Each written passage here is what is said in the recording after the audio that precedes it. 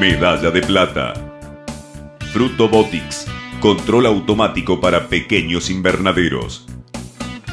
Rubro, software y electrónica aplicados a la maquinaria agrícola. Grado de avance, prototipo o escala intermedia.